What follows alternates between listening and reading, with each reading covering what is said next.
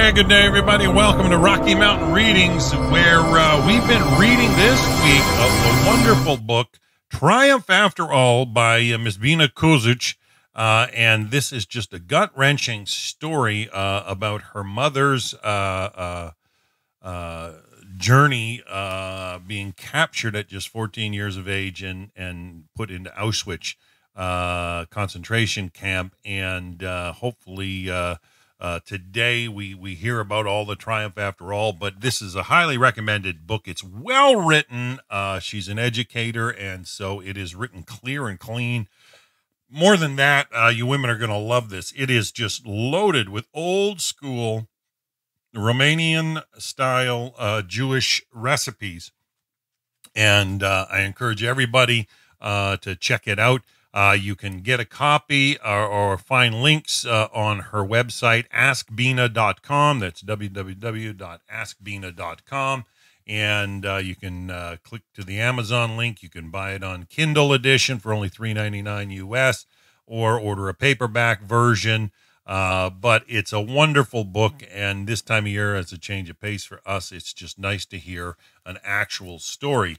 And today, um, you know, and also I got to re- uh, remind uh, you, the audience, um, if we want to have Bina on tomorrow in a Zoom meeting, if we have some questions, I need to hear back from some people. Um, do you folks want to have a Zoom meeting? Uh, there's no sense if I'm not going to have any interaction. Bina's flying from uh, Massachusetts back to Florida today. And so uh, I have to let her know if we're going to do a Zoom meeting but there's no sense doing a Zoom meeting unless we have uh, um, unless we have interest in doing such. Uh, it, we, it was such a joy to have her on the show on uh, Monday to share uh, um, a presentation with us, and you can just tell this has been part of her everyday life and how it took her mother over 65 years to open up and talk about the horrors of Auschwitz. Uh, so today we're on uh, chapter seven on page 50 in the paperback. Um, chapter seven is called Bidgosh. Um, and of course, she starts off with some Psalms that she believes are relevant to the chapter. The wicked walk on every side. Hashem, God of my salvation, the day through whose night I cried out is before you. Let my prayer come before you. For my soul is sated with troubles, and my life has reached the grave. I was reckoned with those who descend to the pit, among the dead who are free, like the corpses lying in the grave, whom you remember no more, they were cut off by your hand. I am imprisoned and cannot leave. Uh, you give them their food in its proper time. He gives bread to the hungry. Hashem releases the bound. All right, the second ride Remember, uh, her mother was put on a train being taken out of Auschwitz, Auschwitz by this time. The second ride in the closed cattle car was similar to our ride to Auschwitz Birkenau. Uh, we experienced the same inhumane treatment. One pail in the corner of the car, no food or water was distributed. Many of the women fell down and never got up again from sheer exhaustion, malnutrition, and the lack of will to continue and endure the atrocious behavior demonstrated toward us by the Nazis. After two days on the train, we arrived in uh, uh, uh, which is Polish for, for Bydgoszcz. Bydgoszcz is located in northwest Poland on the Brda uh, and Vistula rivers. The corpses were left behind on the train. Those who still had some strength jumped off onto the platform. Jewish men dressed in their striped uniforms held wheelbarrows. We knew the purpose of, of these one wheeled vehicles to pile the dead bodies into them and to throw them into a communal burial pit. Who was going to recite the Kaddish, the mourner's prayer for them? From all sides, the echoes of shots were heard. We were surrounded by the SS German soldiers. In one hand, each held a revolver, while the other hand pulled back the leash of a German shepherd who was ready to attack us if we made any attempt to escape. The inmates who were too slow to leave the train found their destiny on the spot where they stood. One single shot into each person's head brought the victim down. Blood and brain tissues were sprayed across the muddy road. That scene alone was enough to motivate us, the living, to hurry to our next de- destination. We marched to the shower building. The ice cold water came down upon us, not lasting even one minute. We we were already privy to it from our previous experience in Auschwitz. After the swift shower, we were given striped clothing. The numbers were sewn on the left side of the top shirt. At least the the numbers were not tattooed into our skin as had had been done to the inmates in Auschwitz. Such an act of dehumanization. Each person had to be identified by the blue ink numbers, which were seared into the inner arm instead of being called by his or her birth name. We marched to barracks similar to the ones we had just left behind two days earlier. I took a lower wooden platform together with Henya, my aunt. And er, at early dawn, we stood for the familiar appel. After the count, the SS men divided us into several groups. I was sent to work. I was sent to work to the ammunitions factory. As I sat down, an older woman approached me. She explained to me how to work the monstrous machine that lay on the table. Two people had to maneuver this equipment. As time passed by, I came to understand that the women who aided me actually lived in the city of Bidgosh. She was not a prisoner. Apparently, the German commanders hired local skilled workers. Can you imagine what I produced? Ammunition.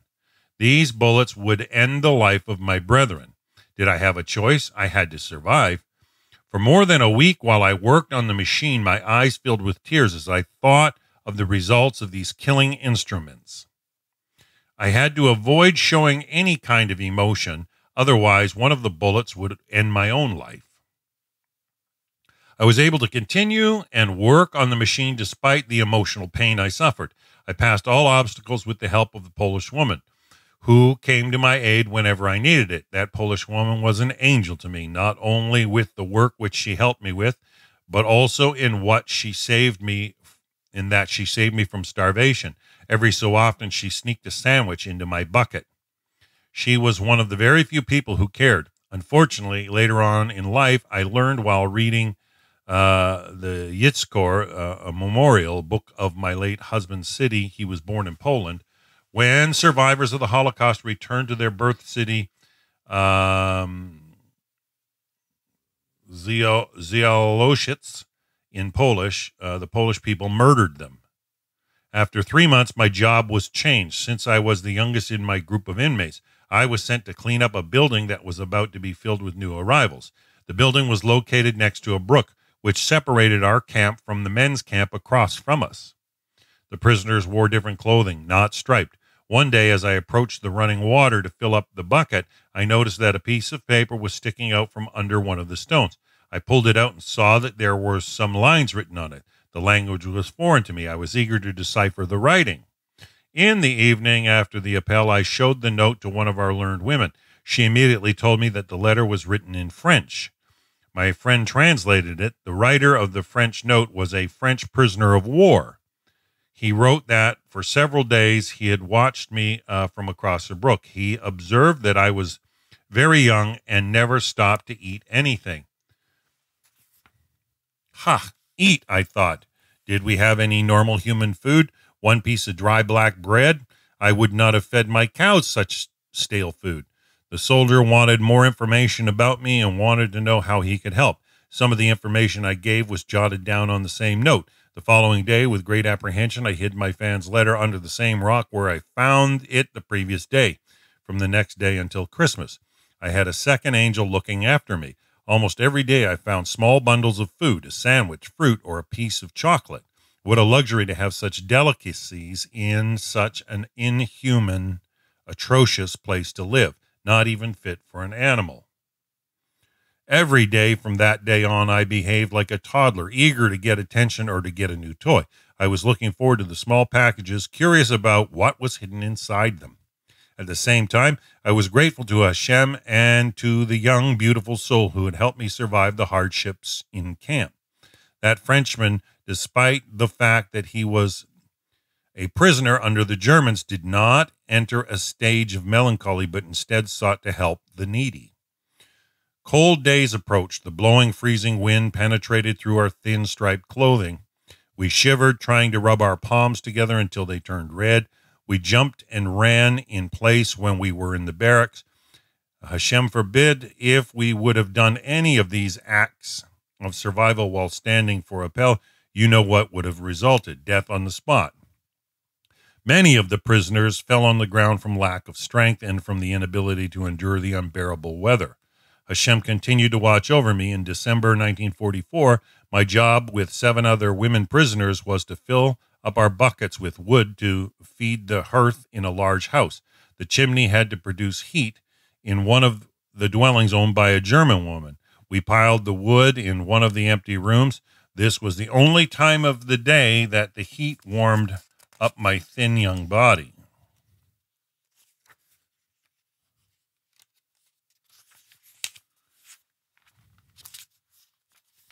A day before Christmas, I went down to my soldier's secret hideout of food. What I found was beyond belief a large basket of various delicatessen edibles. I was full of joy for such presents, but on the other hand, I had become anxious. How was I going to carry such a big basket through the camp without being caught? I, if found with such a bundle in my hand, I would be shot in an instant. I immediately concealed the treasures at the bottom of my bucket. Slowly, I eased my way on the line, pretending to carry a lot of wood as the inmates before me entered the house. I picked up my feet and ran as quickly as possible into the barracks. I felt as if I had grown wings and lived up to my name, Sipporah, or bird. Upon arrival at our Nebek, our pitiful accommodations, I hid the food under the thin blanket and lay on the wooden platform. When my colleagues returned from their day of slavery, I divided the goodies among them. We, ne- we nearly had forgotten what proper food tasted like.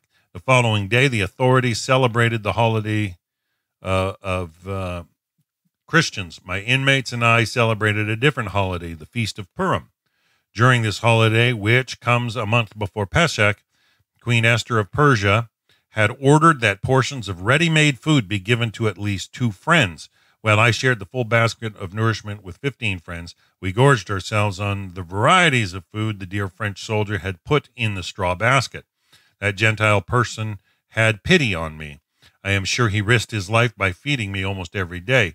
He is one of the righteous souls who dared to put his life in danger for a young Jewess, a child who turned into a lioness before her time and not by her choice. Unfortunately, I found out later that he was killed in one of the resi- resistance actions against the Nazis. As long as Hashem bestows life on me, I will never forget this uh, Gut uh, Neshum, this kind soul, my angel who helped me survive the starvation in camp. May his soul rest in peace. During the uh, Chris- Christmas holidays, the soldiers, the generals, the captains, the women, and the rest of the German authorities ceased the load of work, none of them were able to supervise us properly all through the nights. We heard music blasting through the walls, singing and dancing went on until the small hours of nights. Much drinking of wine and beer took place. We, the prisoners, were relieved from work during this period of time. We caught up with some needed sleep. Our bones started to heal somewhat from the cessation of work for a few days. One morning after the New Year celebration, at the beginning of 1945, the German women guards howled as if their beloved herd were being put to death. They did not stop with their commands. Uh, Rush, Rush, schnell, schnell. Wir haben uh, kein Zeit. Uh, we do not have any time. Here were the familiar words from long ago from our home in Ruskova. We didn't understand the sudden haste. None of the guards expected us to stand for an appel. They used their hands instead of the brown wooden rods to line us up. As uh, we did, we did as we were told. They all looked like lunatics. Their hair was disheveled. Their uniforms were crooked. The infamous black dogs did not scamper around. What was going on? None of the prisoners knew.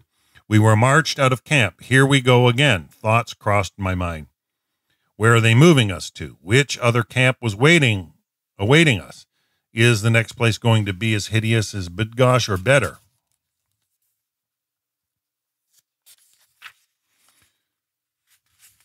And then she's got a couple more recipes at the end of every chapter. Kasha Varnishkes, buckwheat and bow tie noodles. Interesting.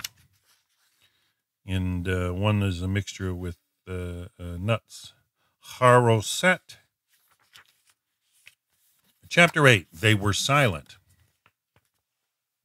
From heaven, Hashem gazed down upon mankind.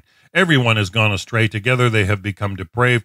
There is no doer of good. There is not even one. Not but vanity are common men. Were they lifted up on the scales, together they would be lighter than vanity. Hashem, you deliver us like sheep to be eaten, and have scattered us among the nations. You make us a disgrace to our own neighbors, the mockery and scorn of those around us. Hashem, how numerous are my tormentors! The, the great rise up against me. Foreigners lie to me. I am a worm and not a man, scorn of humanity, despised of nations. For innumerable evils have encircled me. Let all my foes be ashamed. They, the wicked, are like the chaff that the wind drives away. Have mercy on me, Hashem. See my afflictions by my foes. Germany started the First World War and had to pay dearly, according to the Treaty of Versailles, in money and land. Adolf Hitler took part in the war in 1919. At the end of the war, he became part of the German Workers' Party to be changed to the National Socialist German Workers' Party, the Nazis. The, that particular party was a race based organization. On November 8, 1923, Hitler, wa- with his stormtroopers, the SA uh, Sturmabteilung, uh, surrounded a group of government officials in Munich. He wanted to overthrow the government. He gave them the option of joining his revolution. The officials initially agreed, but then turned him over to the authorities. Hitler stood trial and was convicted of high treason. In April 1924, he was sentenced to five years in prison. He served only nine months. While in prison, he dictated to his deputy Rudolf Hess the first volume of his book Mein Kampf, or My Struggle. Hitler had two main ideologies. Since Germany had lost 13% of its land as a result of the Versailles Agreement, he stressed to the German people as well as to the Allies in 1939 that all Germans needed was to be united. He called that uh, uh, Lebensraum, or living space. Unfortunately, he succeeded with his propaganda beyond all imagination and with very little opposition from the Allies. On March 12, 1938, Hitler annexed Austria. On October 1st, 1938, Germany occupied uh, Sudetenland. On then on March 15, 39, Hitler proclaimed Bohemia and Moravia as part of Germany. Hitler's second ideology was to have a pure Aryan nation. What was done is again beyond human comprehension. Since Germany had to pay a large sum of money as reparation because of the First World War, many people were out of work. The economy was very weak. Germany had to take out loans from the United States of America in 1929. When the American stock market crashed, everyone suffered Germany's uh, inhabitants as well as the Americans. All the loans were called off. Hitler had combined the ideas of having a pure Aryan race with this hatred toward the Jews, the Nuremberg laws, which were issued in 1935, that stated that no Jewish person was allowed to be married to a German. Jews were not permitted to hold any position in any businesses. Lawyers, doctors, artists, actors, and journalists all had to resign from their posts. In addition, Jews couldn't attend the German public schools and not its universities. On May 10, 1933, all books written by Jewish authors or those who were liberals or communists were burned. Authors such as uh, Sigmund Freud, Albert Einstein, Ernest Hemingway, Thomas Mann, and hundreds more were banned. 12,400 titles were blacklisted and removed from the libraries and bookstores. 2,500 writers escaped Germany after the first burning, book burning. Such were the beginning steps of purifying the Aryan blood and mind. Heinrich Heine, a German Jewish poet and a journalist who lived during the 19th century, said, Where books are burned, in the end, men will burn as well. Unfortunately, Heine's prophecy came to, into fruition. The people of Germany benefited from all, the, all of the cleansing actions ordered by the dictatorship of Adolf Hitler's regime. Anything that was taken away from the Jews was given to the pure German race. Houses, land, jobs, and clothing, gold, silver, money, and master artworks were shipped to Berlin. In addition, religious artifacts and Torah scrolls were stolen from the Hungarian Jewish synagogues. Did anyone raise a voice of objection or protest? Of course not. Anti Semitism was spread through lies and propaganda, which were broadcasted on, radio, on the radio many hours a day. Rallies were held in secrets, all organized and well maintained. Everyone had to attend and listen to, to the words of hatred or inspiration. Such was the dictatorship of Hitler.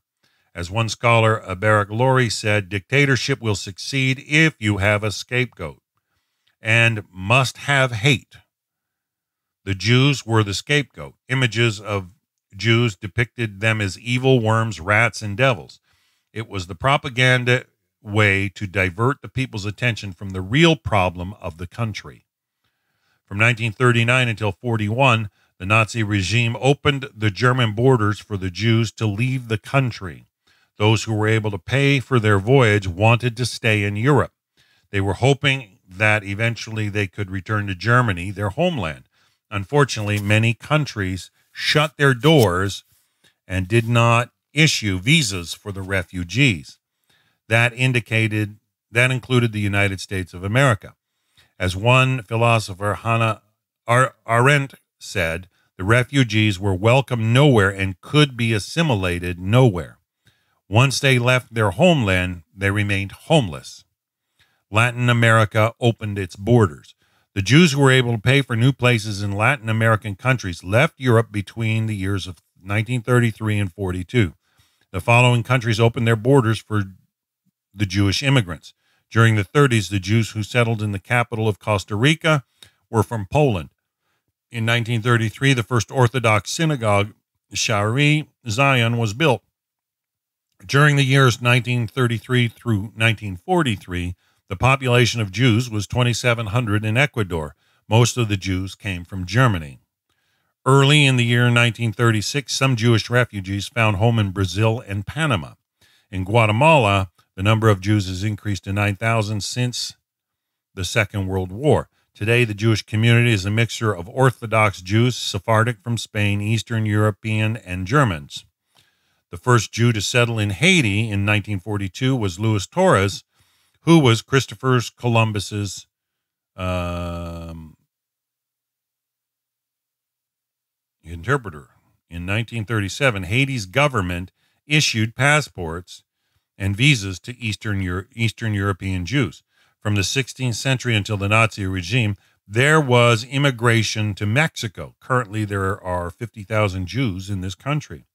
Between 1933 and 39, 15,000 to 20,000 Jews settled in Paraguay, escaping the Nazi government. During the Second World War, many Jews from the Netherlands and other parts of Europe came to live in Suriname. Uh, today, there are 2,765 Jews. By 1943, nearly 600 German Jews had entered Venezuela. There was a well established Jew- Jewish community which reached the number of more than 35,000. Unfortunately, the population of Jews had decreased in staggering amounts as a result of anti Semitic attacks for the past 12 years. The father of the current president, Nicolas Maduro, uh, was of Sephardic Jewish descent. The Evian Conference, and we mentioned this before. Hello, Melissa Clark and Ashley G. Nice to have you with us. President Franklin D. Roosevelt called for an international conference. The meeting took place in Evian, les Bains, France, near the Swiss border from July 6, 14, 1938 F.D. Roosevelt was pressured at home in the United States of America by the Jewish groups to deal with the Jewish refugees. He sent his close friend Myron C. Taylor, a businessman who quoted the president No country would be expected to receive a greater number of immigrants than is permitted by its existing legislation. The delegates from 32 countries took advantage of this statement that each country could not open their borders to the German refugees. The United States held on to that statement as well. The only country to open its doors was the Dominican Republic. She was willing to accept 100,000 refugees in return for payment of millions of dollars. This huge amount of money was given by the Jewish Joint Distribution Committee. In May 1940, 500 settlers came to the city of Sosúa. As a result of the Evian Conference, Hitler stated, Nobody wants these criminals. The St. James Palace Conference. On February 7, 1939, a London conference took place at St. James Palace, London. The issue was the partition of Palestine, the state of Israel today. The British government called for the meeting to plan the future government of Palestine and end and the end of the British mandate in that the region. The Arab res- representative Al Husseini, the, the Mufti of Jerusalem, a proto a pro-Nazi who collaborated with Hitler to build concentration camps in the Middle East, refused to sit at one table with the Jewish leaders. The representative of the opposite side was Chaim Weizmann, the scientist who became the first president of Israel. Second in position to the Prime Minister ben, David Ben Gurion in 1948. Sir Malcolm MacDonald, the British colonial secretary, notified the groups that if no solution was reached, the British would propose one, hence the white paper. The Jews could the Jews have been saved from the Germans, the, the Nazis? As a result of this document, the, the illegal immigration increased. Two Jewish groups who were active in Palestine during the British Mandate, uh, the Haganah, the Defense, and uh, Etzel, the National Military Organization, helped to bring in as many Jews as possible before they were gassed by the Nazis. The White Paper. The British government, under the leadership of Prime Minister uh, Neville Chamberlain, and with help of Sir MacDonald, Sir Malcolm MacDonald, issued a proclamation that a limit of 75,000 immigrants would be allowed to enter Palestine, all with visas. Alas, the number had to be spread throughout five years from the time of its issue, 1940 to 44. There were also restrictions on purchasing land in Palestine. On May 23, 1939, the House of Commons approved the White Paper by a vote of 268 to 179. The United States reaction America stayed silent. The country needed to survive the strains of the Depression. Nonetheless, during a cabinet meeting on April 18, 1933, Secretary of Labor Frances Perkins proposed an executive order regarding the refugees. She suggested giving priority to racial and religious persecution. The State Department objected. The immigrants would take the place of jobless Americans. 11 million were still unemployed.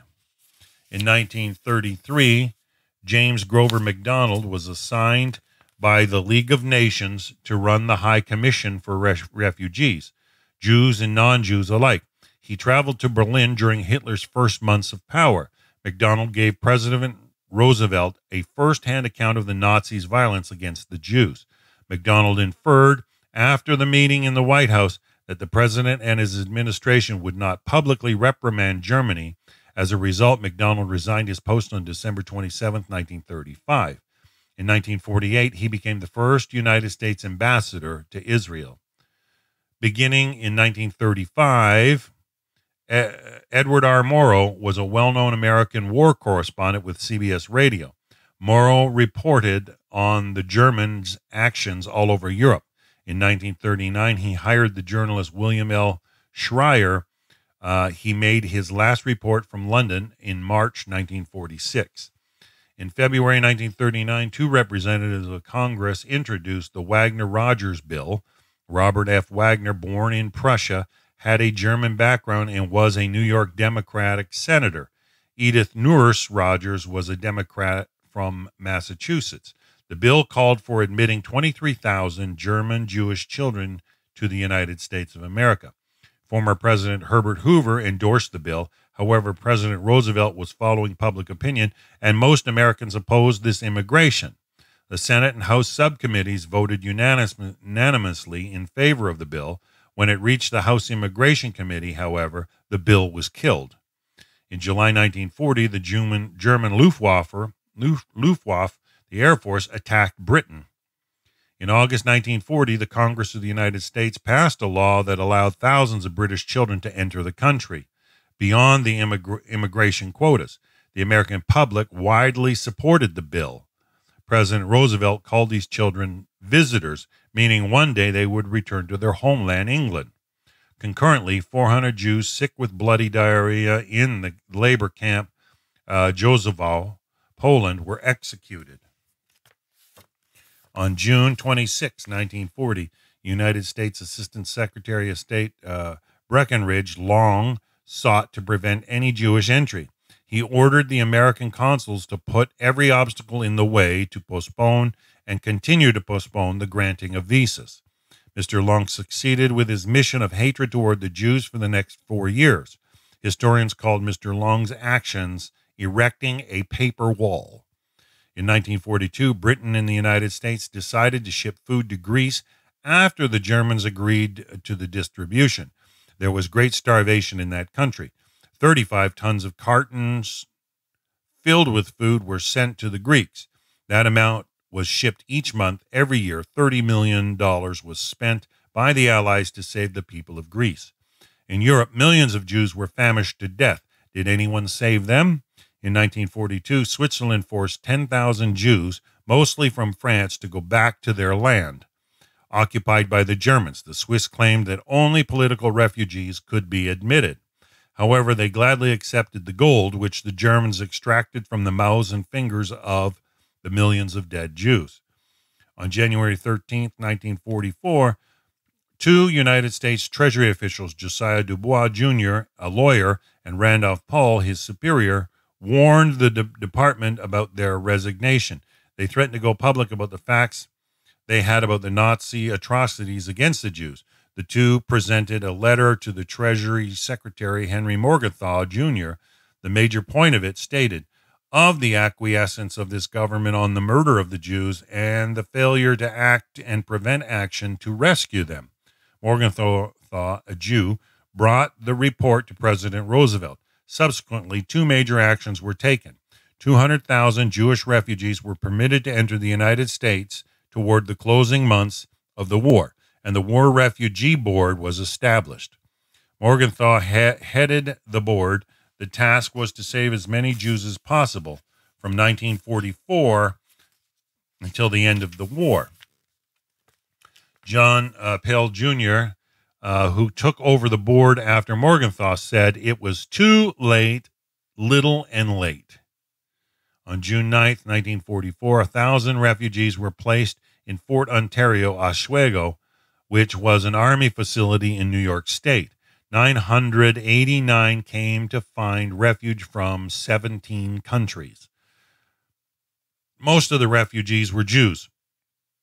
They were given a place of sanctuary on the condition that they return to their homeland at the end of the war. Eleanor Roosevelt was quoted as saying, Congress acts in the way people at home want them to act. In December 1945, President Harry Truman allowed the refugees to stay in the United States of America. The camp closed in February 1946. Um, uh, Chiune Sugihara.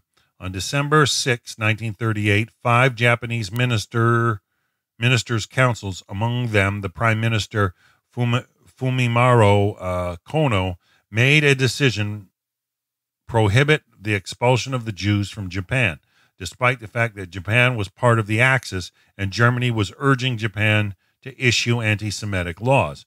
During the Second World War, Japan was regarded as a safe refuge from the hand of Germany's killing machine. In order to reach Japan, the route the Jews had to use was through the neutral country of Lithuania. In March 1939, Consul General uh, Chiune Sugihara was sent by the Japanese government to the city of Kaunas, uh, then the temporary capital of Lithuania. It was situated between Germany and the USSR. During the year of 1940, the German Germans advanced to Eastern Europe. In July, the Soviet Union annexed Lithuania, and the Russian government introduced all cons- consulates to leave the capital city. Only Mr. John Zwartendijk, uh, the acting Dutch consul in, in Chiune uh, Sugihara, remained in Kaunas. The Polish Jewish refugees found out that two Dutch colonial islands, Caraca, Curaçao, and uh, Dutch Guiana, today known as Suriname, situated in the Caribbean did not ask for visas from those who wanted to settle there. The acting Dutch consul notified the refugees that it would suffice to stamp their passports to enter the islands. However, in order to get to the Caribbean, the immigrants had to pass through the Soviet Union, then through Japan. The Soviet consul agreed on one condition Japan had to issue the transit visas. Thousands of Jewish immigrants gathered outside the consulate. Mr. Sugihara wired the Japanese government to receive permission to issue the visas. The reply was negative. Even after the third try, Mr. Sugihara and his family decided to help the refugees on their own. For 29 days, day and night, from July 31st until August 28, 1940, they wrote and signed visas for thousands of Jewish refugees. As a result of Mr. and Mrs. Sugihara's intervention to save the Jews of Poland, Germany, and Austria, the refugees arrived at the city of Kobe, Japan. 2,185 remain in the city. By the order of the Japanese government, many were moved to Shanghai, China, which was under the Japanese occupation. The government designated a certain amount of the city land, which became known as the Shanghai Ghetto. Among those who were saved were the leaders and students of Mir Yeshiva, a Jewish school in Lithuania. It remained in Lit- it remained Lithuania in Lithuania until August 3rd, 1940. Um, and for those of you who aren't familiar, uh, that Mir Yeshiva school is uh, branched and developed one in New York City, which is where Tovia Singer uh, has uh, attended, and Mir Yeshiva in Jerusalem as well, where my friend uh, Rabbi Pinhas Levin uh, taught for a number of years. Um, it remained in Lithuania until August 3rd, 1940. This was apparently the only uh, remaining yeshiva from before the war. Uh, when this country was annexed to Belarus, Republic of the USSR under the Soviet rule. Uh, Yad Vashem, the Holocaust Memorial in Jerusalem, Israel, gathered testimonies from all over the world about the extraordinary courage of Mr. and Mrs. Sugihara. In 1985, Mr. Chiune Sugihara was recognized as a righteous among the nations. A park in Jerusalem was named after him. He was asked why he helped 6,000 refugees. He said they were human beings and they needed help. Germany invaded the Soviet Union on June 22, 1941. On August 16, 1942, the Germans murdered the entire Jewish population in Mir. 200 Jews managed to escape and joined the the the the partisans in the forest. In 1942, the London press reported that all the Jews in Mariupol, Ukraine, had been killed. Uh, Sven Norman. Sven Norman, born in 1892, was the head of the Swedish engineering company ASEA in Warsaw, Poland, during the German invasion of Poland on September 1st, 1939. On May 1st, 1942, Sven Norman took a suitcase with a hidden compartment the valise contained documents detailing the slaughter of 700,000 Jews. There were also 2,000 photographic negatives of the Nazi atrocities. Norman was one of the seven Swedish men who came to London with a dossier of photographs and documents to show and tell the world of the Nazi persecution of the Polish Jew. Jews. That was the first smuggled proof of the inhumanity that took place under the German Nazi regime. The BBC on June 9, 1942, broadcast the Nazi atrocities. At this time, the Allies knew about the annihilation of the Jews that took place in Poland. Did anyone stop the German army? The exiled government. Władysław uh, Sikorski, Poland's prime minister in exile, resided in London. He revealed that 700,000 Jews had been systematically killed by the Nazis. He added that there were concentration camps and executions in mass graves, ghettos were established, and the gas chambers were in, in uh, perfidious use. The prime minister addressed the wartime allies, which were then known as the United Nations. He presented a document titled The Mass Extermination of Jews in German occupied Poland. The existence of all the atrocities committed by the Nazis against the Polish Jews was validated. Crazy.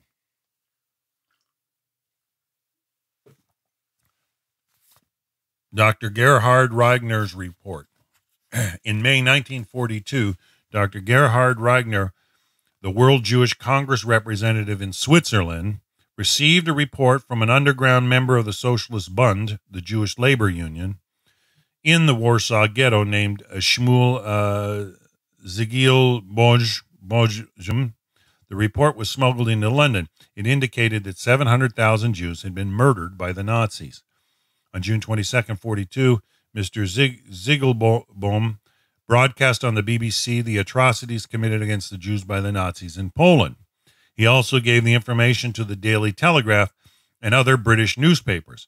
On July 30th, 1942, a German industrialist, Edward uh, Schulte, whose company had mines near the death camp Auschwitz, revealed to a Swiss colleague that Hitler had decided to kill all the Jews starting in the fall of 1942.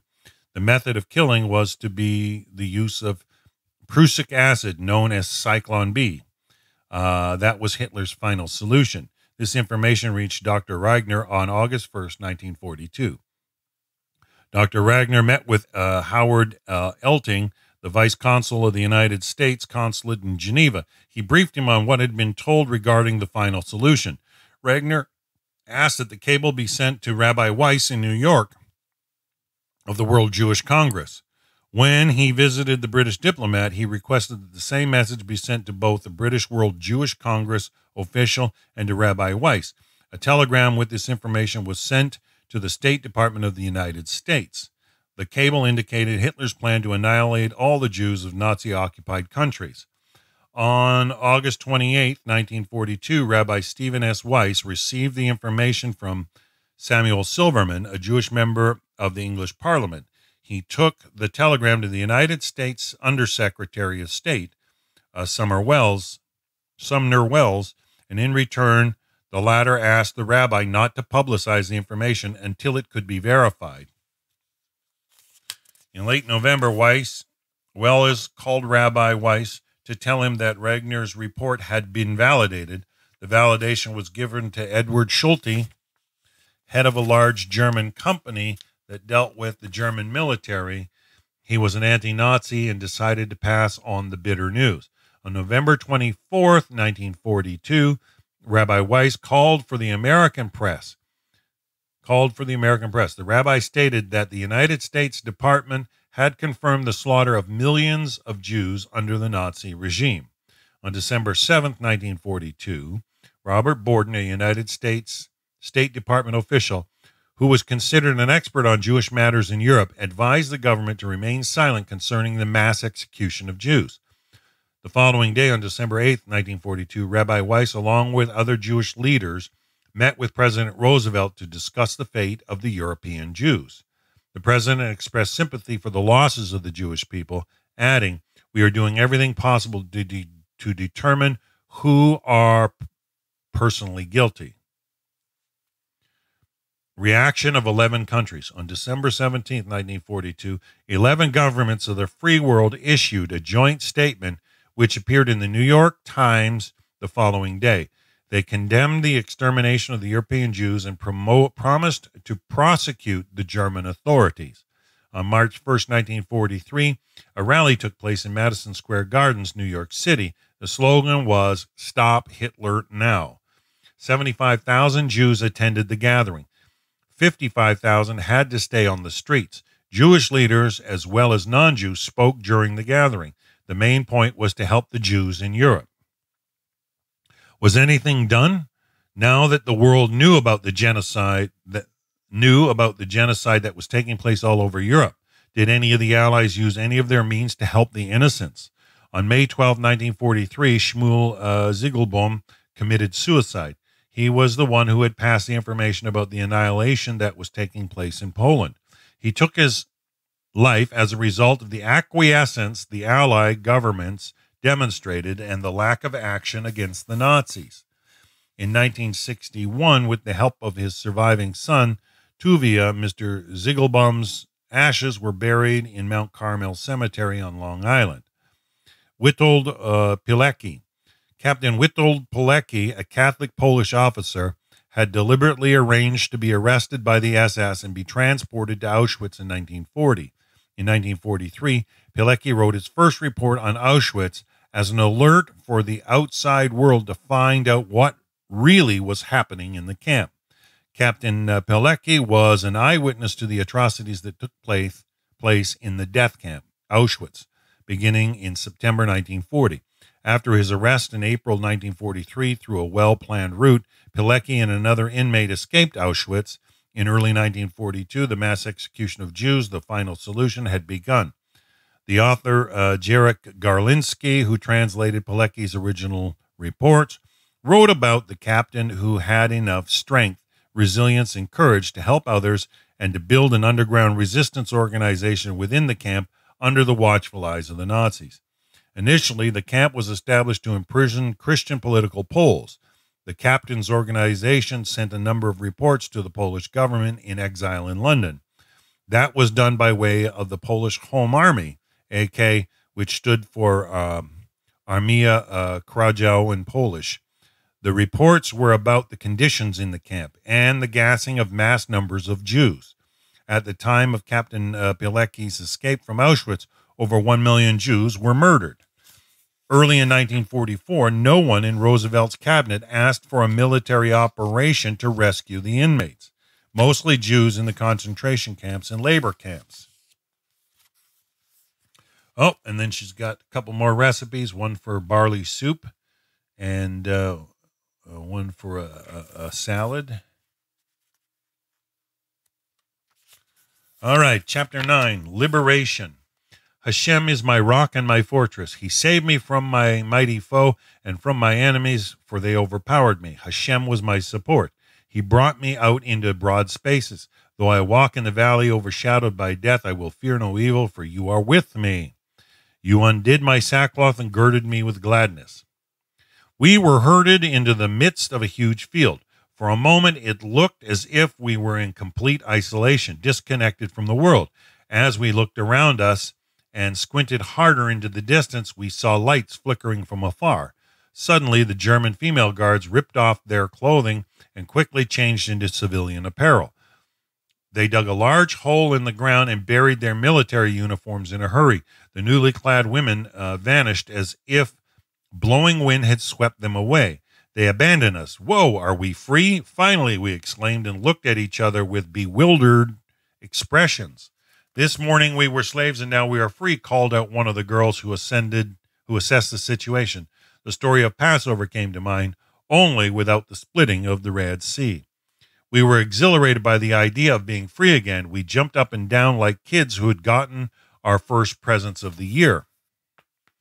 We laughed, we cried, and we hugged each other, tears of joy streaming down our faces. Despite this moment of triumph, the strong cold wind incited us to move on, to take care of our scrawny bodies clothed in thin layers. The spiritual part got its fulfillment for the moment. We had to continue and think about the future. The light snowflakes turned into a blizzard. We had to deal with the fact that a shelter had to be found in the very near future before we would turn into pillars of snow. We eyed a house that stood far apart from any other structures.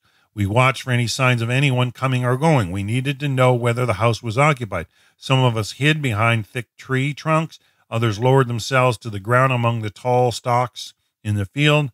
After an hour or so, with watching finger with aching fingertips and almost frozen toes, we approached the house cautiously. It seemed vacant. We tiptoed into the house, going through the side entrance, which led to the kitchen. From the look of the piled up dishes in the sink, and the clothing scattered all over the counters and floor, it was obvious that the previous occupants had left their dwelling in a hurry. Our first action was to attend to our physical needs. All 15 of us women rummaged through the closets. We needed warm clothing. The sizes did not matter. We had grown accustomed to ill fitting garments from Auschwitz and, and, and Bydgoszcz. It was such a great pleasure to feel the woolen sweaters against our cold skin. We gathered wood and placed it in the hearth. The warmth of the fire engulfed me. I was able to move my almost frozen bones with ease. We all, uh, we all shep naches or, or derived pleasure from the heat that filled the room. With dreamy eyes, we gazed into the red rising flames. After an hour of enjoyable warmth, we each were able to hear our stomachs' juices working themselves into a frenzy. We were famished. Two women reminded us that when we entered the house, there had been a large chicken coop in the yard. Three women went out to fetch four chickens. One young woman claimed that she was the daughter of a, sh- a a religious Jewish. The religious, the Jewish religious laws dictate that sh- shita or kosher slaughtering must be performed on the cattle and fowl. The shita took place in the yard after we found a sharp knife among the kitchen utensils.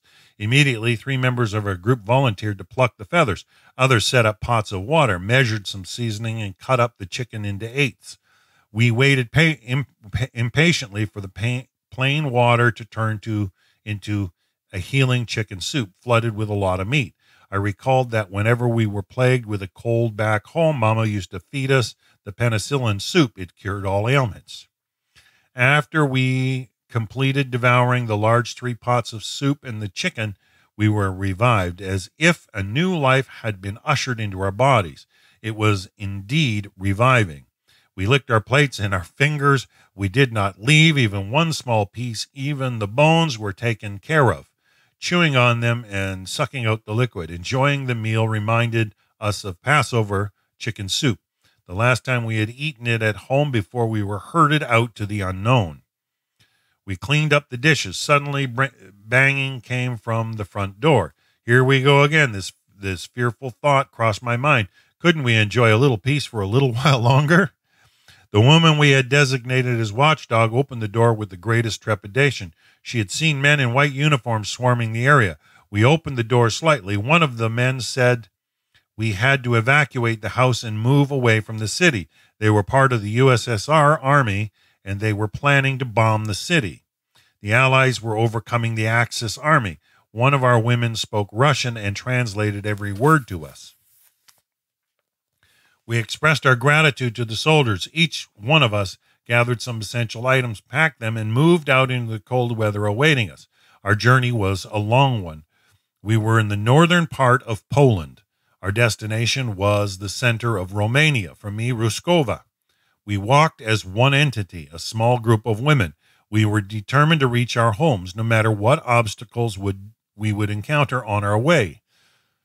The past nine months of hell had turned us into resilient group. Each of us contributed her own strong character.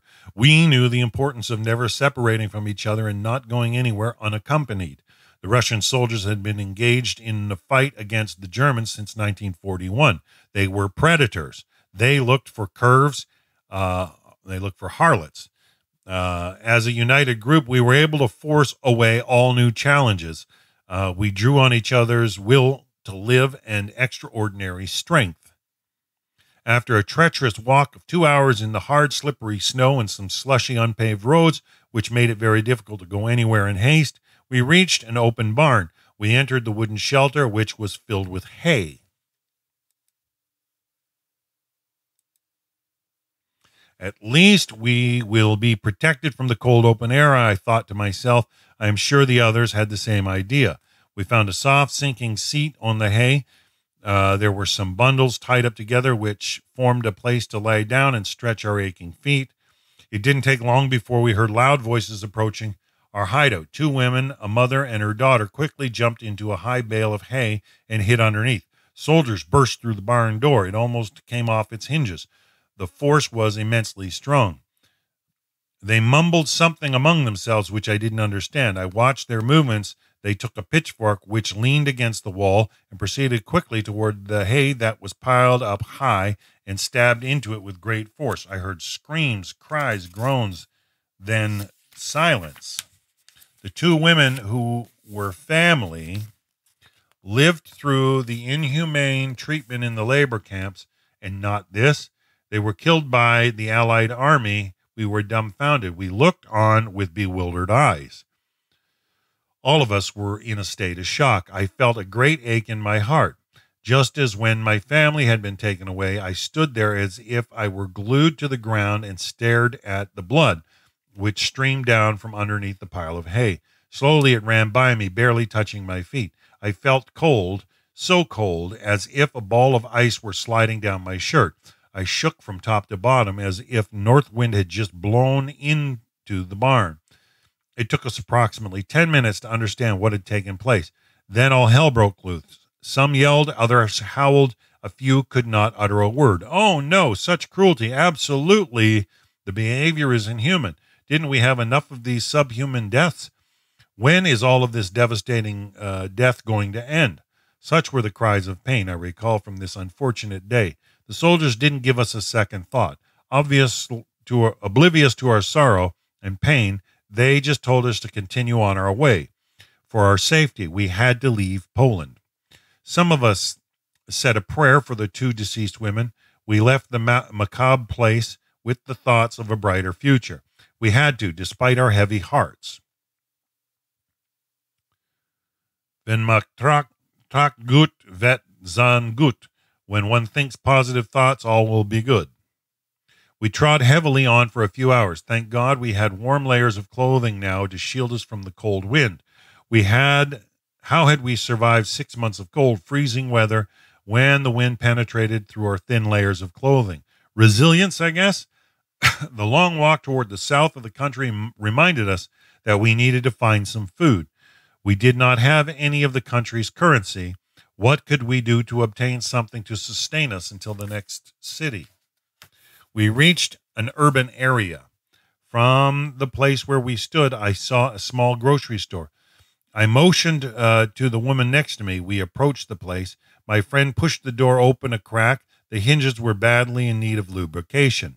We feared opening the door wider, but the scent of the various cheeses that were displayed on the shelves uh, banished all worries. We reached the shelf, stretched out our hands to grab some of the treasures before us, but instead of that joy, instead of the joy that filled our hearts, we were struck on the back of the shoulders and were pulled to the center of the store. Two soldiers whom we recognized from their uniforms spoke their unclear words to us. We spoke to them in our native language, Romanian. Uh, we have tried Hungarian, but to no avail. They pointed their guns towards the door. We understood we had to move on. We were reluctant to follow these men in uniform. We cried, shouted, declared our innocence. Uh, nothing helped. We practically were dragged to the nearest police station. Can you imagine from one prison to the next? Will we ever see some light and hope for the future on our way back to life. We did not cease our screams and cries. We talked until our voices sounded like the fog on early morning visits. We continued this behavior in the hope of arousing some th- sympathy. After one hour, when we could hardly utter another sound, a tall, blond, blue eyed man came marching in, decorated with colorful medals. It was obvious he was the captain. The first words that came out of his mouth were in Hungarian. It was a great relief. We spoke again, the more calmly this time. Uh, we explained to the commander where we had come from. We told about our experiences in Bidgosh, the labor camp. We saw the tears that threatened to drown his face. He held them back, as is a gross schand far aman zum weinen. For a man to cry is a great shame. The captain and the other soldiers sympathized with this. He added that he could not envision the calamity that had happened to the Jews and the other group of people. They offered us packages of food to carry back to our friends. they had some uh, Rachmons, pity on us. We thanked our saviors and wished them well with the fighting. We crossed city after city. The effects of the war were visible everywhere. Many buildings, public, municipal, and private, were destroyed or partially bombed. Many stores were boarded up. Bodies of young and old were scattered along the side of the roads. Some were covered with a torn blanket and some with a rag. They were ready for burial, but no one buried them. If it had been summer, only bones would have been found. The vultures would have had a feast. Shots were heard coming from every corner of the streets. There was heavy smoke from the artillery fired from the guns and the monstrous tanks which were rolling down the unpaved roads.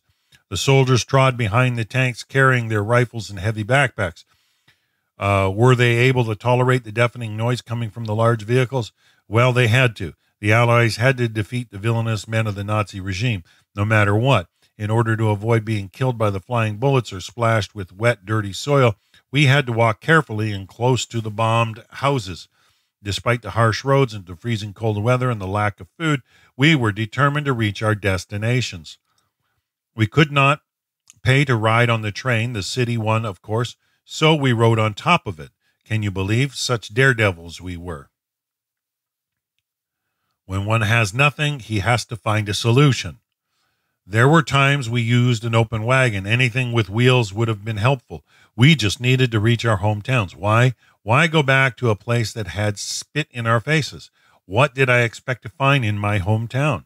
Well, perhaps some other relatives, ones who were able to escape the death camps, were still alive.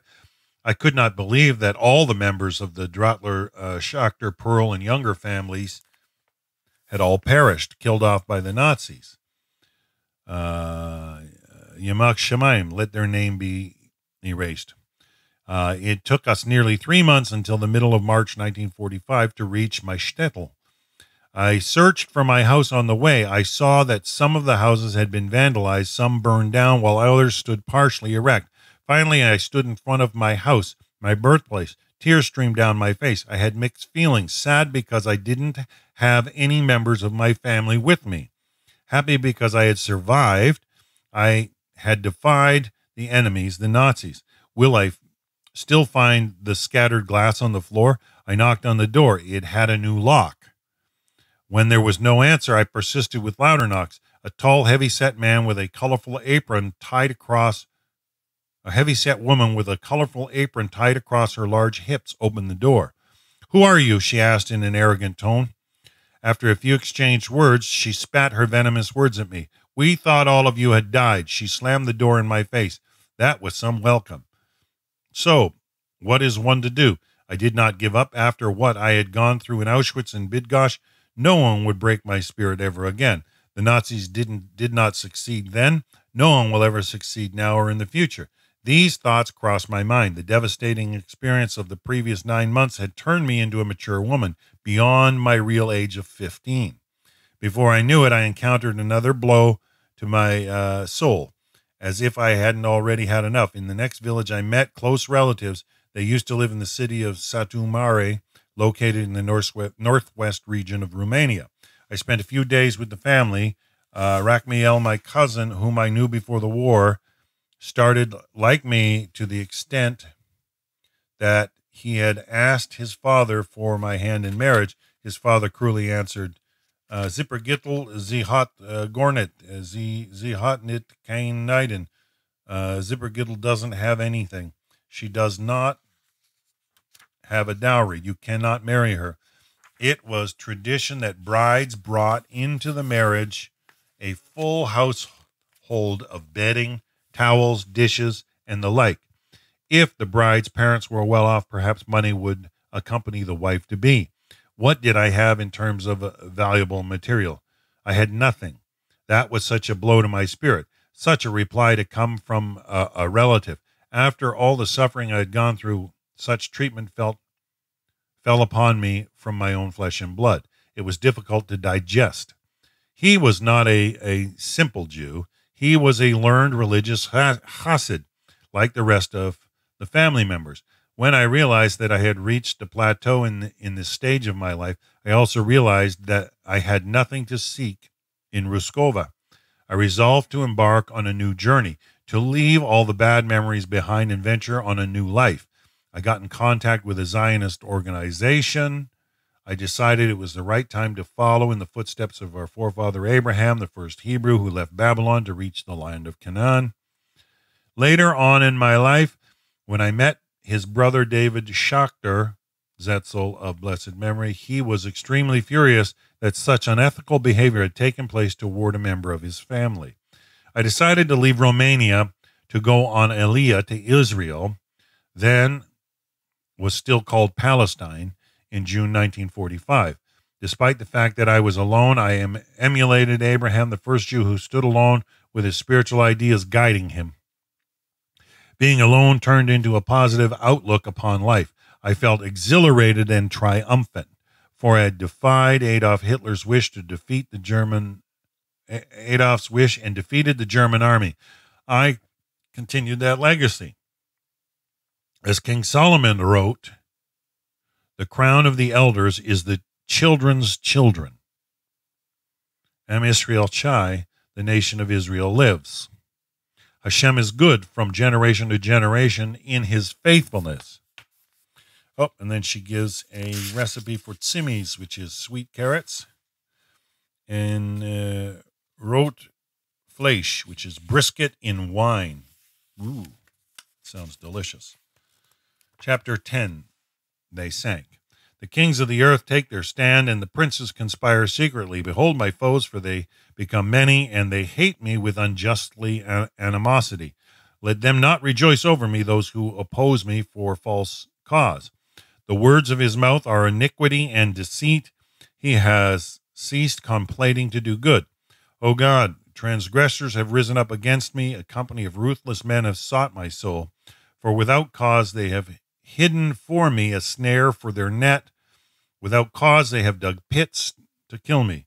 Gather not my soul with sinners, nor my life with men of bloodshed, in whose hands is conspiracy, and whose right hand is full of bribery. The arrogant have hidden a snare for me and, and ropes. They spread a net near my footpath. They set traps for me. You are my help and my rescuer, my God, and do not delay.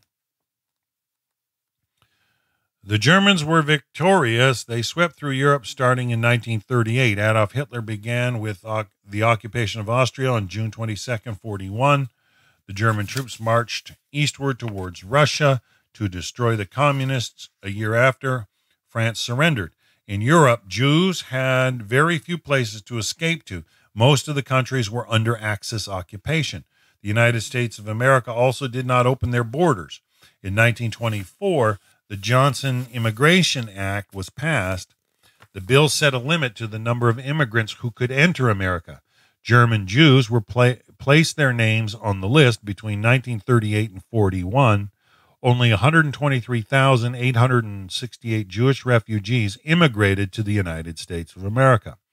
Another way to be saved from the murderous machine under the Nazi regime was to immigrate to the Holy Land, Israel, named Palestine until May 15, 1948. In order to reach Palestine, one had to go through the Black Sea, starting in Romania. The question is, why did the Germans allow the refugees to go through Romania?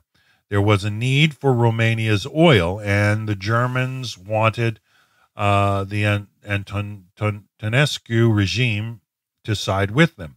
At this point in the war, the marshal did not want to herd any Jew any away any Jews. There was more profit in keeping the Jews alive rather than sending them to the ghettos or concentration camps. A wealthy Jew like uh, Baron Neumann donated a billion lei, or a million Swiss francs, to the Palace of the, the, the Handicapped and many other organizations connected to the Antonescus. The chief rabbi of Romania, Alexander Saf- Safran, aided the, by Swiss and Swedish ambassadors, pressured the authorities not to transport the Jews of Transylvania to Banat. The pressure caused the evacuation of the Jewish communities to be held until the spring of 1944. At his trial in 1946, Marshal Ion Antonescu, an anti Semite, said that he be, believed that at the beginning of the Second World War, he would be able to solve the Jewish question. At the end of 1942, he imagined that the Jews could be used as capital to help improve Romania's economic situation. All the Jews had to pay dearly for their voyages and also had to pay the Romanian authorities. The Jews who were planning to depart from Romania had to use their, the river Danube. That route led to the port city of uh, Constanta on the Black Sea. From the port city, the refugees had to reach Turkey, a neutral country during the war. The last destination was Palestine. Oh, the St. Louis. In the early stages of the war, 1939, Germany was eager to rid itself of Jewish communities. The Gestapo encouraged several shipping lines to sell visas to German Jews. Cuba was in high demand for escape. The location was far from Europe and near the United States of America. The Hamburg American line sold 907 visas to, to Jews. 734 already had numbers on the United States quota waiting list. Each person was asked to pay an additional $150 for a landing certificate. On May 5, 1939, the president of Cuba, Bru, signed a decree making all landing certificates invalid. The Hamburg America line knew about the decree but ignored it nevertheless and did not notify the refugees. On May 3, 1939, the St. Louis sailed to Cuba. On May 27, 1939, the ship entered Havana, Cuba. The 532 passengers were not allowed to disembark. The families of the refugees tried bribery. They appealed to the authorities, but nothing helped. For days, the St. Louis made front page headlines in the New York Times and the rest of the world's magazines and major papers. The ship sailed up and down the coast of Florida. The American Jewish group, the Joint Distribution Committee, was willing to pay an additional $500 bond per refugee. The ship was forced to return to Hamburg, Germany, and this is all before the war really kicked in. The ship even tried to sail to Palestine. The British refused to let her enter. On the way back to Germany, France, England, Belgium, and the Netherlands each agreed to accept some passengers. These countries were paid a compensation for taking in the refugees. The payments came from the JDC. 278 refugees survived. The remaining passengers were murdered at the hands of the Nazis.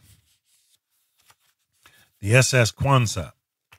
In 19, August 1940, the SS Quanza, a Portuguese passenger cargo ship, was chartered by passengers who wanted to flee Europe. The ship left Lisbon, Portugal on August 8th. It arrived at the New York City harbor on August 19th. 196 passengers disembarked. 66 of them were American citizens. 121 remaining ref- refugees were denied entry. Nearly all were Jews. The SS Quanza proceeded to Veracruz, Mexico. The ship arrived on August 3, 1940. 35 passengers were allowed to disembark. 86, mostly Belgian Jews, remained on board. The ship was ordered to return to Europe on September 11, 1940. Quanza stopped for coal in Norfolk, Virginia. During the delay, Jacob Morewitz, a Jewish lawyer from Newport News, filed a lawsuit for four refugees. He sued the Portuguese National Line for $100,000 for breaching the contract. The SS Kwanza was held in port for six days. During this time, Rabbi Stephen Wise of the Jewish World Jewish Congress, together with Cecilia Razovsky of the National Council of Jewish Women, lobbied for the remaining passengers' admittance to the United States. Eleanor Roosevelt was informed by the Jewish American Association of the situation. She appealed to her husband, the president. Roosevelt dispatched State Department official Patrick Murphy Malin to investigate the matter. Malin gave visas to all 86 passengers. Six chose to return to Europe. The other 80 refugees entered the USA on September 14, 1940. The Salvador. On December 3, 1940, the Salvador, a tiny ship, left Varna, Bulgaria, with more than 350 emigrants. The ship's destination was Palestine. It sank in the Sea of Marmara next to the beach of uh, Silivri, Turkey. The date of that macabre event was December 12, 1940. In 1964, 223 bodies were buried in the National Civil Cemetery at Mount Herzl, Jerusalem, Israel. A memorial was built beside the graves. The Struma. Uh, John D. Pandelis was a Greek businessman, a shipping agent for the illegal immigration movement. His enterprise, based in Romania, led to the Balkans and eventually Greece. He used bribery, lies, and anything to get ships for refugees, no matter the ship's physical condition. Jewish organizations had to pay enormous sums of money to let the refugees board the ships, despite the poor condition of the vessels. Immediately at the beginning of the war, the Germans had bought all the decent ships. They were used to carry supplies for the army. As a result, all the vessels available on the market were in deteriorated condition. The ship Struma, 150 long, feet long, was first registered in 1830 under the name Macedonia before the war. The Bulgarian owner used the vessel as a battle barge, a cattle barge on the river Danube. It was unfit for sea travel. The Struma, her n- new name, was towed to the city port of Constanta, Romania. Pandelis raised a, a Panamanian flag. The Betar, a young Zionist group, looked for passengers in Romania during September and October. The Romanian press carried advertisements for passengers on the Struma. When it was time to set sail, the passengers were stupefied. What they saw was a wreck of a ship. What had been shown to them previously were pictures of the Queen Mary. The passengers were depressed, worried, and gloomy. The ship had a depth of 18 feet, not enough to have prop a proper lower level. It could not hold more than a hundred people. That didn't matter to the Greek agent as long as he and the authorities were paid. The refugees had to leave behind all their gold and jewelry in order to embark on their on the worn down ship. As the immigrants were hurried into the lower quarters, they found cabins without cots, not as promised. There was no room to sit. The packed spaces could not hold the passengers, and many sat in the aisles. The ship resembled a coffin, not a boat. Betar's representatives, 60 of them, organized a large group into smaller groups for food, air, restroom, and washing periods. After one hour of sailing, the engine stopped. A distress signal had to be sent out prior to the engine losing its power. Meanwhile, the ship drifted. Late that night, a Turkish tugboat appeared for $2,500. The engineers would repair the engine. After the, the collection of rings, watches, and hidden money, the boat was ready to sail on. On Sunday, December 14th, the engine stopped working completely. By then, the Struma had reached the Bosphorus, gateway to Istanbul, Turkey. The captain flew the Turkish flag as a sign of friendship. Entrance to the strait had been mined by the Germans to prevent the entry of supplies for the Red Army. The area was covered by nets and equipped with bells to warn off ships. Finally, a Turkish tugboat appeared and began to tow the Struma toward Istanbul's harbor. The Churchill government of England was so adamant about not allowing illegal refugees to enter Palestine that they considered sinking all ships. On December 20th, 1941, five days after the Struma arrived to the coast of Turkey, there were talks between Turkish Foreign Office and the British ambassador in Ankara. Sir Harold uh, uh, MacMichael, the British High Commissioner for Palestine, was determined that no illegal immigrants would disembark in Palestine. On December 27, 1941, again, the ambassador met with the Turkish foreign minister. The demand was to send the ship back into the Black Sea. Turkey did not want to have any part of the refugees, nor did the British. For 71 days, the British reprimand, rep, remained Im, Im, implacable. The Struma would not be allowed into Palestine. After some negotiation with British government, it was agreed to release children from the age of 11 to 16. The Turkish government refused to provide a boat, nor did they allow the children to go through Syria to reach Palestine via the land. In addition, the private secretary to Lord Moyne at the Colonial Office gave an emphatic reply of no. On February 23, 1942, after all avenues had been tried and failed, the Struma was ordered to leave Istanbul harbor. On February 24, 1942, at 9 a.m., an explosion tore apart the Struma. 768 men, women, and children perished. There was one survivor, David uh, Stoliar, age 21, a Romanian Jew who entered Palestine. In 1942, the Jewish underground accused Sir Harold uh, MacMichael, the British High Commissioner in Palestine, of murdering the Struma passengers. Thousands of posters were issued. Murder, wanted for the murder of 800 refugees drowned in the Black Sea on the boat Struma. Wow. And a few more recipes. Hungarian tomato and pepper omelet, and dough pockets filled with cheese. Kreplach. Whoa. Chapter 11 Will it ever cease? The wicked walk on every isle. The wicked bend their bow, ready their arrow on the bow, a bowstring to shoot in the dark. The wicked drew a sword and bent their bows. From the womb are the wicked estranged, the speaker of falsehood gone astray from birth. They have venom like the venom of a snake, like a deaf viper that closes its ear. Protect me, O Hashem. You will not allow your devout ones to witness destruction. Let me be rescued from mine enemies. May, may they melt away like the water, like water that flows away. When each one draws his arrow, may they be as if crumbled to pieces.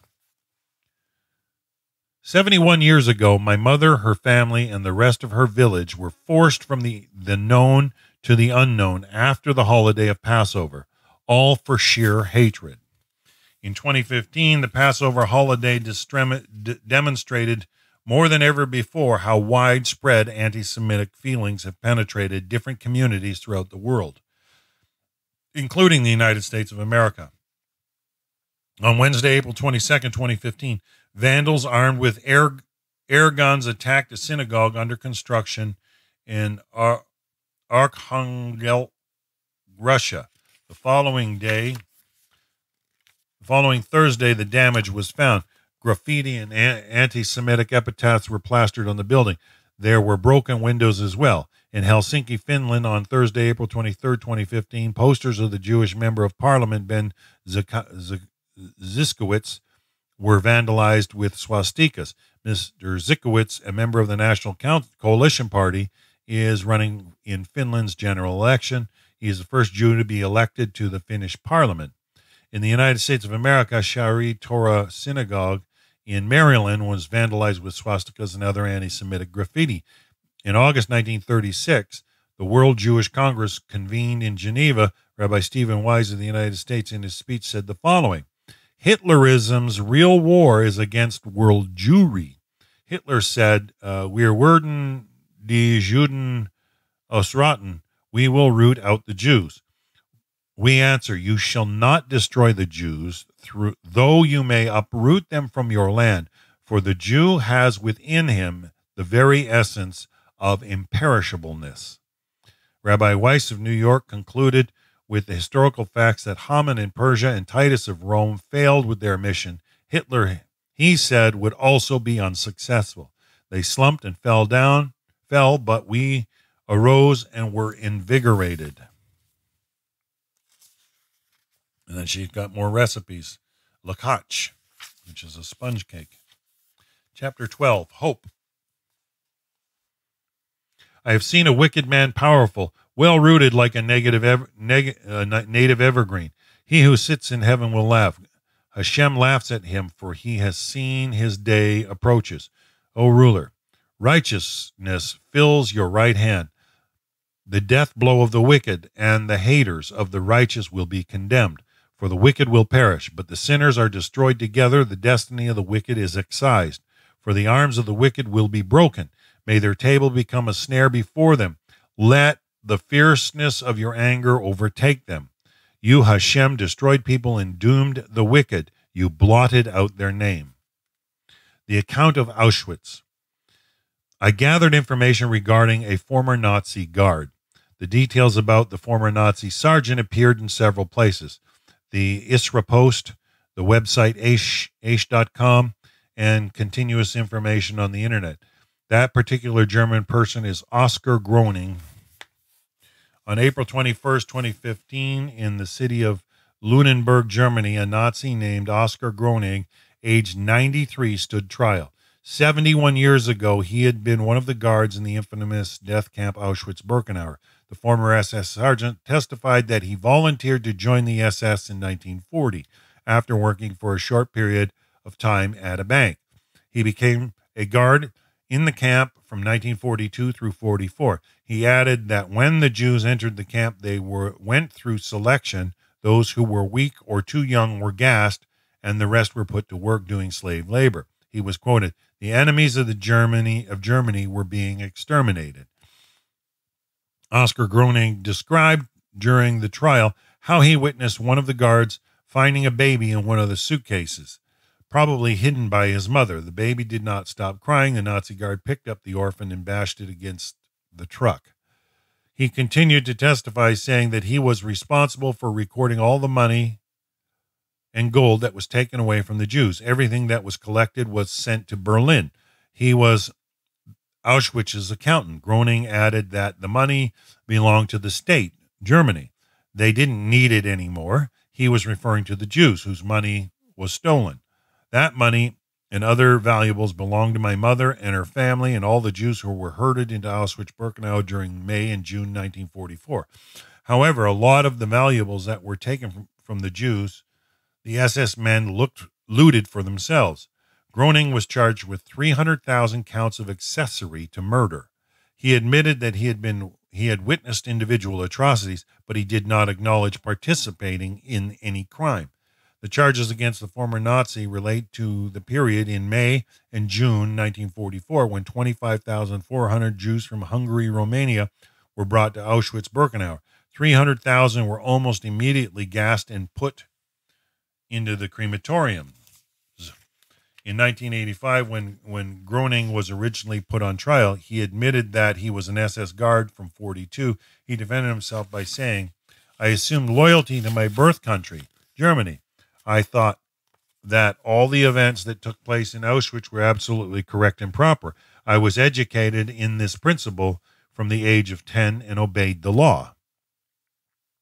This trial was the first to test a new line of German legal reasoning. Any SS who was who was at the death camps as a guard can be charged as an accessory to murder committed there, even without evidence of involvement in, in a specific death. Currently, there are 11 open investigations against former Auschwitz guards. Charges have been filed in two more cases. As for the guards in uh, Majdanek, eight are under investigation. Under the German legal system, defendants do not enter for formal pleas. The accusers are 55 survivors, mostly from Auschwitz Birkenau. Some of them are familiar family members of those who were murdered simply because they were Jews. On July 15, 2015, the former Nazi Oscar Groening was sentenced to four years in prison. There were more than 7,000 Nazi guards in this infamous death camp. Did all of them die natural deaths? Uh, where are they? Shouldn't they stand trial? EU's Parliament demand. A European's demand to return Jewish properties stolen during the Holocaust. This is the headline of an article that appeared in one of the weekly Jewish magazines in Florida. Representatives from 18 nations, members of the EU Parliament, presented a signed letter to the President Martin Schulz. The letter all indicated the letter indicated that all properties that were confiscated from the Jews should be returned to their rightful owners. The representatives spe- specified that after 70 years, a solution had to be found regarding looted property. The 36 members wrote We, the representatives of the EU Parliament, carrying a moral obligation to bring forth a solution to return the stolen properties which belong to the Jews who were victimized during the Holocaust 1933 to 1945. The coalition headed by a Swede, Gomar Hökmark, was quoted saying, My friends and I are proud to lead this committee to ensure that the EU Parliament will focus on finding an answer to all the problems and difficulties the Jewish survivors are going through. I was stressed that the solution would be either returning the looted goods or paying compensation. Escaping the conflagration. A light wind was blowing, cooling off our bodies, which warmed up quickly as the sun reached its zenith. We, the survivors, stood shoulder to shoulder, eyes filled up with tears, tears of joy and sadness. We had eluded the Nazis, but we left six million brethren behind. Six million souls killed, slaughtered, and buried to death. Still, despite it all, we on the boat's deck felt our hearts pounding, filled with yearning for the hope to live and see Hashem's promise to Abraham come true. To your offspring I will give this land. Whoa. Gaze now toward the heavens and count the stars if you are able to count them. So shall your offspring be, is what the promise to Abraham in the book of Genesis is. As we stood, young and old, men, women, and children, we were united in our determination to continue the legacy. Each one stretched out his hand to his or her neighbor's shoulder. Soft sounds of music engulfed us from the back of the ship. It continued like the sea's waves before pounding against the sea's shores. Loud voices erupted all around us. We all joined as one entity. We sang Hatikva, Hat, Hat, Hatikva, the hope. As long as in the heart within a Jewish soul still yearns, our hope is not yet lost. Well, and that's the the the end of the book, folks.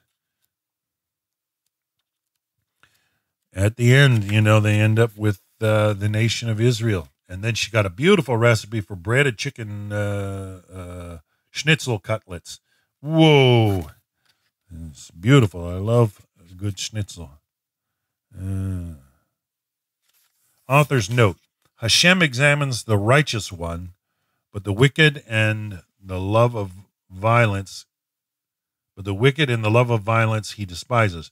Do not cause me to be drawn with the wicked and with the doers of iniquity who speak peace with their companions, though evil is in their hearts. Let not the foot of the arrogant come to me, and let not the hand of the wicked move me. I hate the gathering of the of evildoers, and with the wicked I did not sit. Turn from evil and do good. Guard your tongue from evil. Seek peace and pursue it. I have taken your ennobling testimonies as my as my eternal, for they are the joy of my heart. The world must learn that hatred and bigotry toward anyone or any group of people must be eradicated. On the other hand, passivity begets evil. Each person ought to take the oath never be silent when encountering evil, never again to no one. The end. Wow. Um, is all I can say. That was just uh, uh, uh, uh, uh an awesome uh, uh, recounting of a soul that went through all that at such a young age and then came uh, to the Holy Land. And I asked Bina if, because uh, I noticed she had got her education in New York City, I asked, you know, if she was an American uh, she she was born in Israel, so it sounds like her mother got out into Israel and got married and triumph after all for sure. So, what an exciting story! It's nice to hear something genuine. We've been studying a lot of uh, theological uh, material and and stuff that is conceptual, um, and this is just a real down to earth, uh, genuine uh, uh, account of um, an actual life uh, going through some terrible trauma. I can't imagine what it was like back then and just what these people had to endure. May it never happen again. May we all learn to stand up against such tyranny, such um, such practices that uh, try to herd people like uh, like animals and then dehumanize them and um,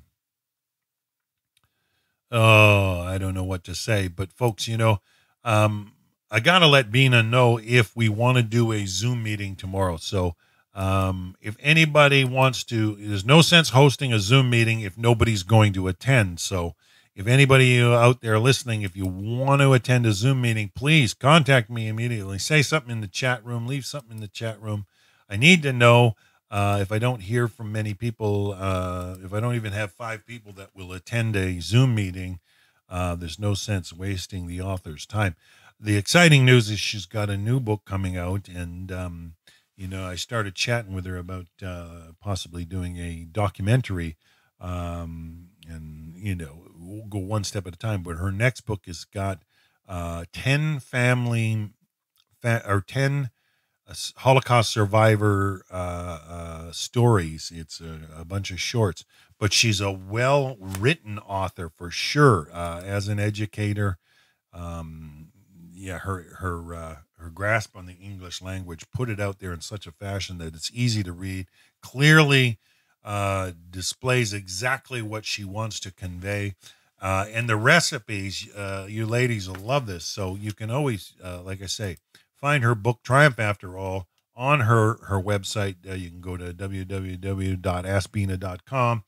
Find the link uh, to purchase it on Amazon. You can get it for Kindle as low as three dollars and ninety nine cents, uh, and you have access to these beautiful, beautiful recipes that are traditional Jewish recipes that go all the way back uh, into the old country in Eastern uh, Eastern Europe. So um, we hope that you guys have enjoyed this series uh, this week. I know we covered it very quickly. We had a wonderful visit and presentation by Bina. I will uh, determine uh, later today if um, we're going to have a Zoom meeting tomorrow. It's a question of how many people reach out. Uh, but I don't want to waste this lady's time. She's flying today, uh, tonight from uh, uh, Massachusetts back home to Florida. So um, I got to get a message to her. Uh, but if there's no questions, um, I think this time of year, you know, we all need to remember uh, from the past. And, you know, we have Remembrance Day coming up here in my country on November 11th and uh, all around the world. You know, we, we can't forget these horrors of the past, uh, or we could be destined to repeat them. And heaven forbid that ever happen again, something of that nature. Um, you know, and this is why I, I so promote the uh, the Sheva Mitzvot B'nai Noach is is uh, I love the way Rabbi Cherki's book is called Brit Shalom, which is the covenant of peace, and when people understand that that the how the the the Sheva Mitzvot B'nai Noach are there to um, make the world a better place, literally work in this world to make it a uh, a more peaceful place and to live in in in harmony with Hashem and with each other. And um, you know, I, I so appreciate uh, the compassion that uh, Bina has shown here and uh, and shared with us her her actual uh, family history coming out of. Uh, uh, Auschwitz Birkenau, the capture in their small city, and then in the in the um, in the ghettos. Oh, in Poland, that's just it. Just yeah. Uh, may we never forget, um, and uh, may we stand strong and never let bullying and things of that nature continue. So, you know, on that notes, folks, I think I'm done my time for today. So um, we're going to sign out from Rocky Mountain Readings. Um, I'm not sure if I'll be back tomorrow. Uh, you know, keep prayers. Suggestions want to hear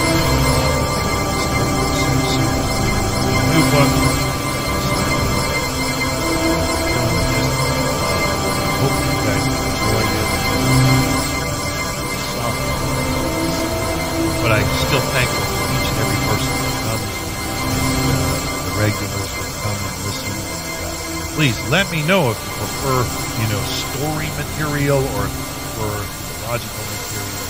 I really enjoyed that wonderful uh, version of